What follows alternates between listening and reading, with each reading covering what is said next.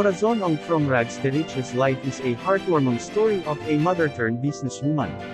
Nagtatrabaho bilang isang dietitian para sa isang ospital sa kanyang mga unang taon bilang isang empleyado, ginamit niya ang kanyang kadalubhasaan, kaalaman, at kasanayan bilang isang dietitian upang lumikha at magpabago ng abot kayang processed meat products.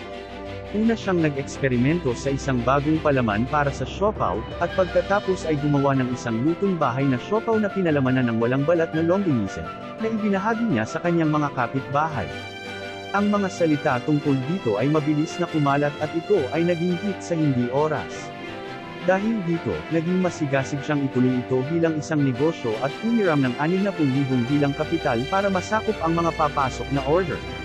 Di nagtagal, itinatag niya ang kanyang sariling kumpanya na CBO Foodsphere noong 1995. Mula sa isang simpleng pangarap na makapagbigay ng masarap na pagkain sa kanyang pamilya, nagtapos si Ong sa panghabang buhay na pangako sa pagbibigay ng abot kaya at dekalidad na pagkain sa mga sambahayang Pilipino. Strategy niya, kung mahal mo ang isang bagay, go for it. Ang iyong libangan at hilig ay maaaring maging iyong kalamangan at maaaring magdala sa iyo ng iyong susunod na malaking bagay.